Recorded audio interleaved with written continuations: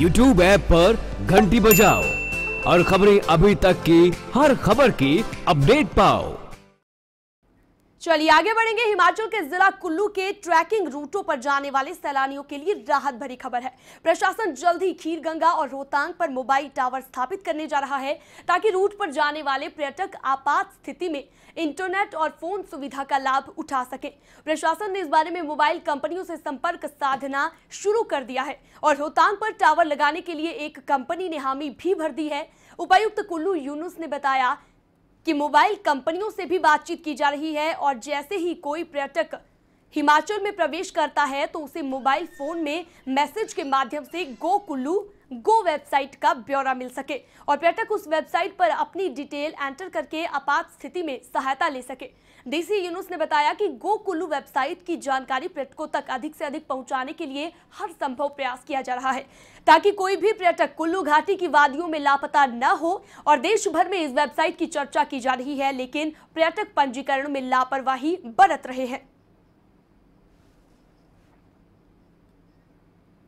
तो कुल्लू में घूमने जाने वाले पर्यटकों के लिए एक अच्छी खबर है। अब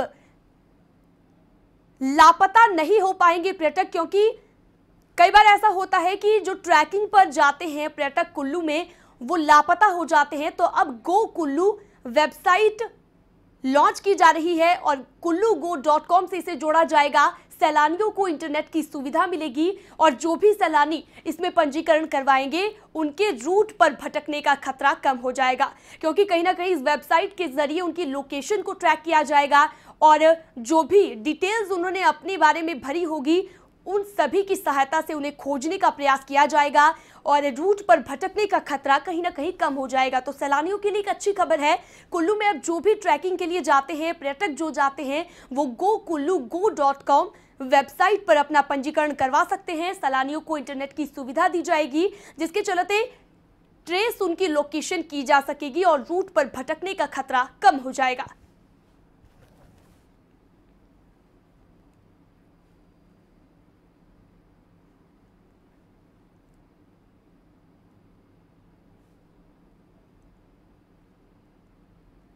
तो पर्यटक को go Kullu go dot com से जोड़ा जाएगा, जिसके चलते सैलानियों को इंटरनेट की सुविधा भी दी जाएगी। और इसी के चलते पर्यटक जो है, उनके लिए अच्छी खबर यहाँ पर आई है।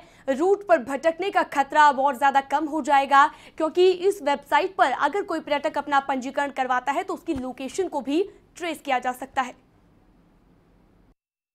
हमने अभी पिछले साल गोकुल्लू डॉट कॉम वेबसाइट लॉन्च की थी। उसका मैंने अभी देखा है कि हम यूज़ हो रहा है, परंतु एफिशिएंटली यूज़ नहीं हो रहा है।